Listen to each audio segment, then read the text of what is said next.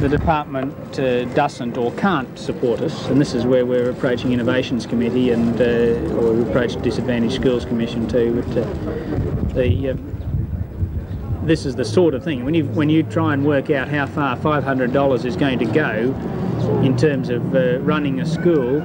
Uh, of, of, any sort, let alone a school of this sort that's supposed to be a community school and involved in uh, a lot of excursions and uh, you know local excursions, sort of working in the community all the time. Uh, $500 just goes nowhere. That that $500 to us uh, has you know just covered the very bare essential working expenses such as the phone. Uh, some materials, but not many. Some art materials, uh, some books. Uh, but $500 just doesn't go very far. $5,000 may be a reasonable figure for a for the running expenses. Uh, uh, you know, uh, to work out a, an accurate cost analysis for all the sorts of things that we would like to do.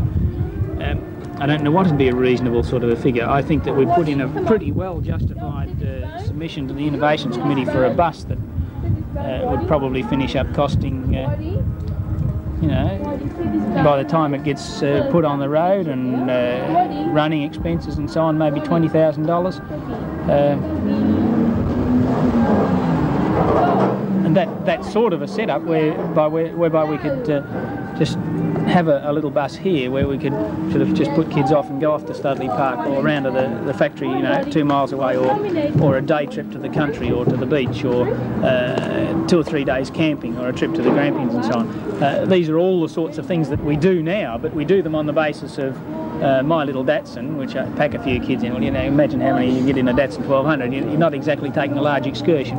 Uh, another teacher's got a ute, and another bloke's got a, a Land Rover, and it's all done on the, the, buses have just got a good environment because it's a sort of community sort of. Yeah, well, if, if we could, if well, just just take for instance now we've got some kids sitting around here now, and we could decide that what we need to do today is uh, visit a factory in um, well Coburg, not far away, say six miles, seven miles. Uh, let's let's go.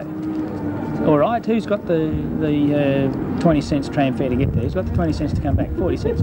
How many kids are you going to take then? Straight away you're going to say, well, out of that dozen that we started with that all want to go and all sort of can see what we're going to do, uh, maybe you've cut it down to four who, who have just happened to have the cash on them.